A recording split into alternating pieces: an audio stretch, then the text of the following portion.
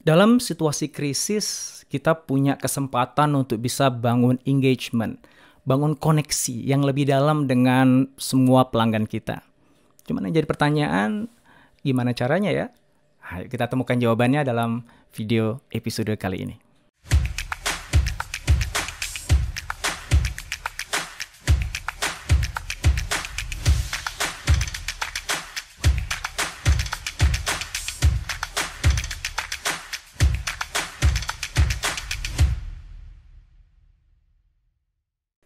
Nah, kita akan belajar dari Chipotle. Ya, ini sebuah restoran siap saji di Amerika yang menyajikan makanan khas Meksiko. Ya. Nah, mereka tuh ingin membangun engagement dengan customer base-nya dan juga dengan masyarakat secara umum selama masa pandemi, gitu ya.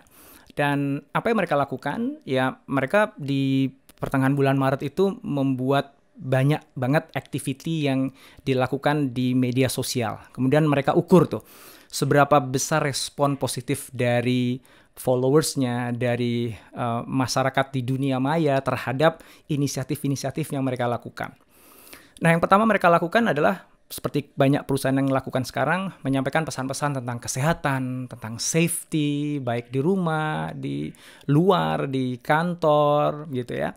Dan nggak lama setelah itu mereka buat event, uh, mereka nyebutnya virtual hangout ya dengan selebriti, di mana mereka ngundang selebriti-selebriti, kemudian dihadirkan secara virtual dan siapa pun, khususnya pelanggannya yang didahulukan, tapi sebenarnya masyarakat umum pun bisa ikutan nongkrong bareng selebriti di sana.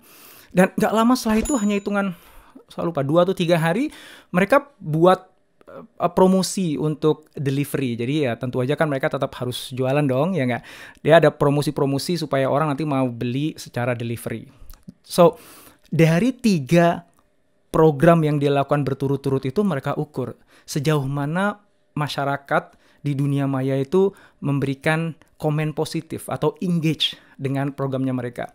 Ternyata mereka menemukan engagement yang mereka berhasil ciptakan dengan rangkaian activity tadi itu nggak beda dengan engagement sebelum pandemi. Jadi intinya nggak terlalu ngefek lah gitu. Sampai kemudian di akhir bulan Maret, tanggal 29 tepatnya, 2020, mereka melakukan inisiatif untuk ngumpulin dana.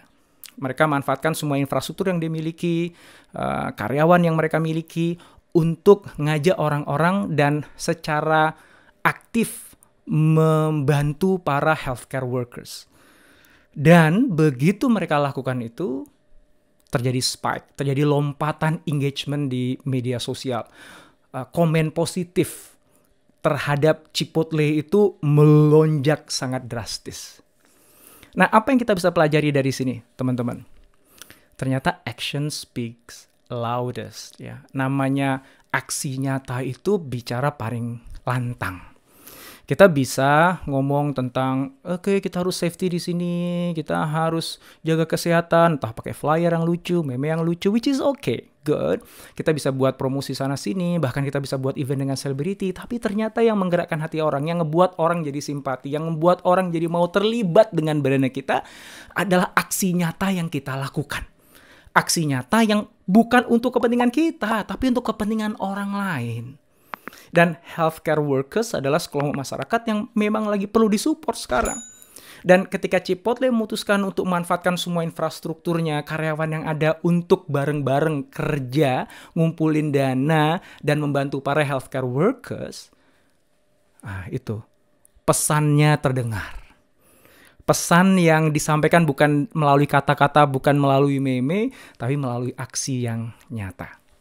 So, lessons learned.